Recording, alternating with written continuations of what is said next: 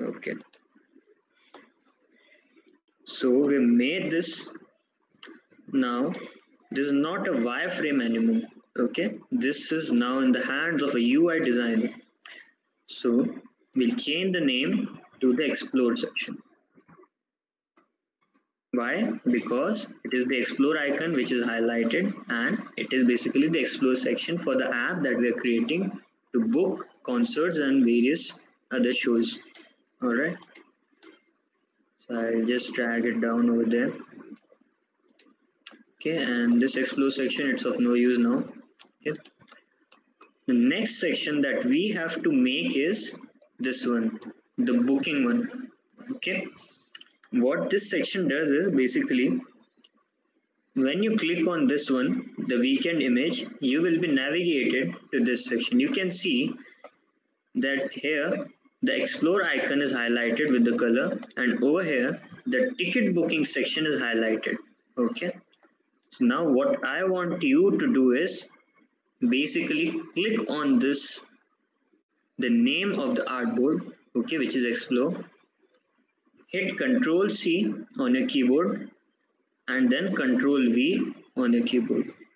So I get the copy of the entire artboard. Alright. You can do it in other ways as well. You can basically click on this explore. Okay. Now right click over it and you will get various options. Okay. You can press, you can just select the copy you can right click anywhere and you can just paste okay so it gives you another copy of it so i'm just gonna delete it for now i'm just be keeping this one all right now what this helps us like uh, there's an option in adobe xd which is called as auto animate. Okay and this is the section that i like the most.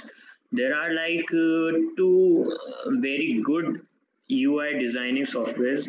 One is Figma and one is Adobe XD and Figma kind of beats XD all right so there's one thing which is good in XD which makes it different from Figma and that is its prototyping okay?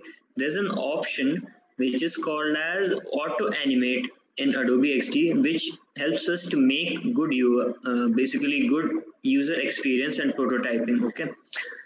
So to make good user interface, you can use Figma.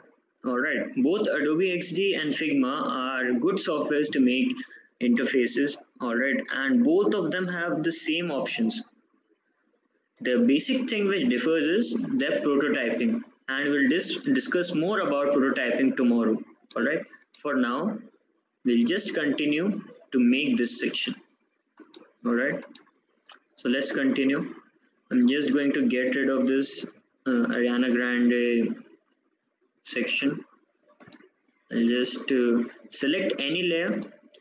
You can right click and go to delete to delete it. Else, you can just click on the layer like this text and press backspace on your keyboard. That will also delete the layer. Alright. So you can see that uh, there are some things which are in common with this artboard and this artboard. Okay, one of these things is the image, so we'll be keeping it. And some other things like this button and this button have the same gradient, so we'll be keeping it. Okay, rest all of it we're going to get rid of it. Okay, so this thing I'll be just deleting the things that we just don't need for this artboard.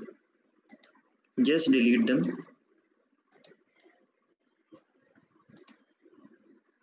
okay so this is done. Now I want you to delete this uh, categories also. These are of no use for now. Just delete every layer. There's one more option. You can just click on the artboard okay and drag your mouse to create this type of rectangle to select multiple layers at time okay. Just do it and you will be able to delete all of them at once by clicking on backspace. So all this is gone. Now what i want you to do is click on this weekend rectangle okay? As you you remember that this is mask group. We masked it okay? The image. We made a mask out of it using the rectangle. All right? Right click on this mask group okay and select ungroup mask. So our mask is now released okay? The rectangle is different and the image is different as well okay? So they are now ungrouped okay? So we'll just keep this rectangle down. We'll use it later. First of all what we're to do is we will just resize this image okay? That's our prime motive right now. I will resize it such that it covers the entire like half of the artboard I guess. That much. You just make it big. Okay. And make the text to go down over there. There's no need to use them right now. Okay now I want you guys to listen to me really careful because this is a bit advanced type of uh, design. Like you can see over here that this thing is blending on with this black color okay in the background okay? The image it fades okay? First of all it's bright and then it goes down it becomes black and then it merges with the background okay? Now to add an effect such advanced okay? You have to use bit like of your brain okay? You have to use your brain and you have to be clever okay? So next thing which i'm going to do is i'll just click on this rectangle tool okay? Or i will just press r on my keyboard to select it. I will make a rectangle which is equal to the height of this image okay? So i made a rectangle which is approximately equal to the height of this image okay next what i'm going to do is I will go to the fill like this rectangle is selected okay? I'll go to the fill I will change from solid color to linear gradient like we did for the buttons and other rectangles we're doing the same now. So now I have the gradient. I will just keep it vertical only okay? I will select the bottom point which is down over here. I selected it. I will change the color. I will just drag the circle down. Like if you go over here it becomes red but we have the background which is black. Okay? So I'll drag it down. Now it's black in color. All right.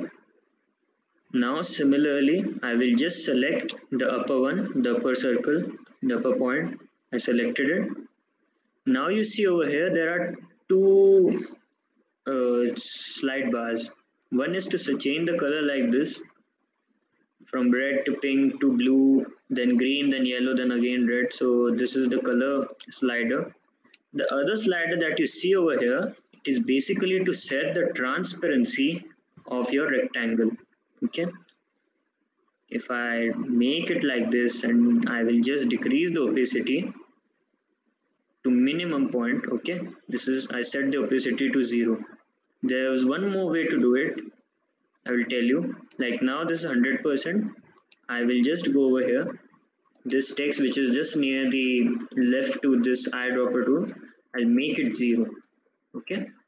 So i just got this effect okay? Now click anywhere outside it. All right so i got my rectangle and this effect as well okay? Now you can notice there's a border over here okay? I will just untick the border to get rid of it. Alright so this is done